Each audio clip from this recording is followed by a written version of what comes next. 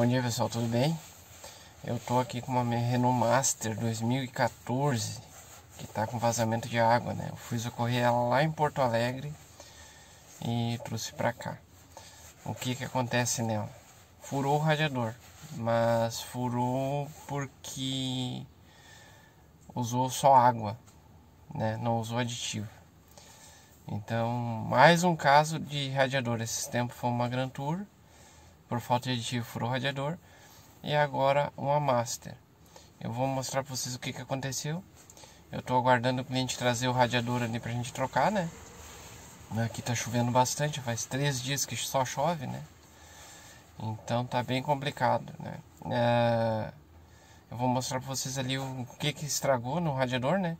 Eu vou trocar também um amortecedor que devido a uma pancada na roda ali estourou ele também, né? Na verdade vou trocar o par, né? Não adianta trocar um só. Tá bom? Vou mostrar pra vocês. Pessoal, olha onde furou o radiador, ó. Dá pra ver, ó, a oxidação, tá? Devido a não ter aditivo.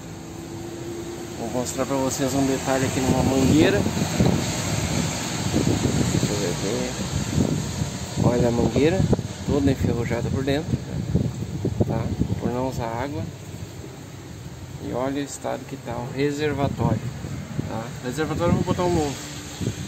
Não vou nem perder tempo tentando limpar. Vou botar um novo porque esse aqui não aproveita mais. Tudo isso só por não usar aditivo. O amortecedor, ó, deu uma pancada na roda, ali ó. E o amortecedor agora não dá para perceber, mas ele estourou. Ele estourou.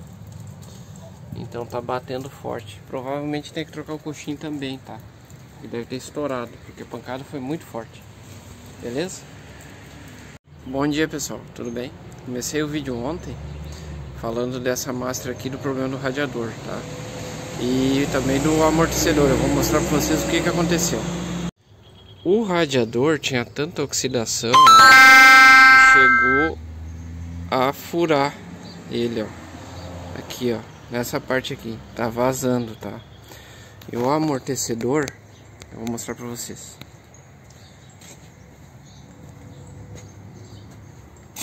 O amortecedor com uma pancada que deu na roda estourou, ó. Ali, ó, a bucha, ó. Ele entrou, o coxinho vai saltar fora, né? Quando soltar ali, salta fora. Com a pancada ele estourou, ó. Ficou rente a porca, tá? Vou mostrar pra vocês a roda. Pera aí. Pessoal, olha a pancada que a roda sofreu. Aqui, ó. Tá reta. O ar tá reto. Deformou. Então é essa pancada que causou todo o problema.